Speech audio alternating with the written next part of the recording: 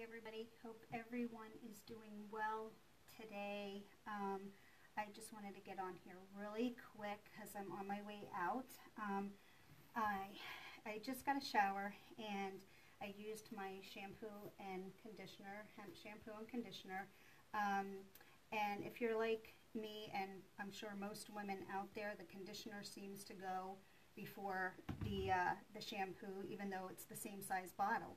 Uh, a known mystery.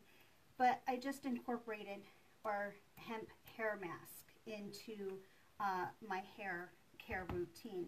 Now this is the, um, the deep hydration because my hair is like always dry and frizzy.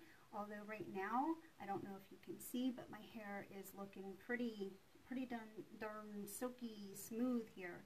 But I'm also going to finish up with the um, hemp uh, liquid gold hair serum.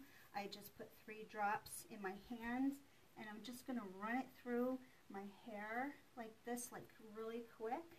And um, this is going to help manage those little flyaways and help add a little shine and uh, make my hair a little more uh, less frizzy looking, although it doesn't look very frizzy to begin with now that I've, uh, th this hair mask is like amazing. I put it on in the shower, it just scooped out a little bit, and I put it on in the shower and it was like, oh my god, it's so, it just coats your hair. I don't know if you can see that, um, but it smells really amazing.